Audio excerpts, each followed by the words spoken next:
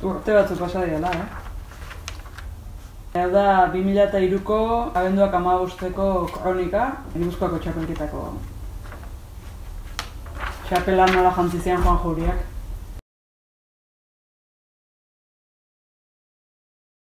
Ba, zorionez gero ere kronikak e, olako notiziak ate ditu gehietan, eta, bueno, horietako bat posteak handi da, ba, oso, niretzat oso edera, opari edera izan zana, eta Ernari ere gero atoki askotan ikusi izan duna, eta, bueno, ba, haure oroitzapen eaka.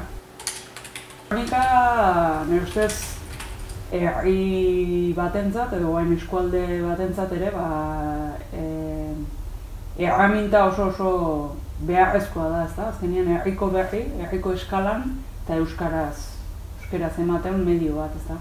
Eta niretzat eharra da kontuatzea nola euskaldun jendeak segitzen duen, e, azkenean e, beste egunkaritan bilatzen ez ezun eskala bat eta horbiltasun bat eskaintza izulako.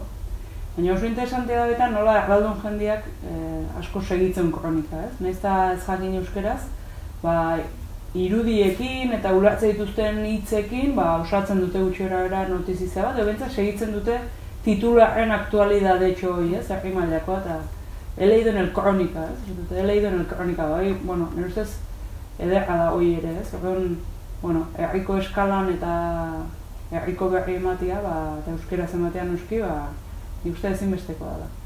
Animatu eta egin kronikalari.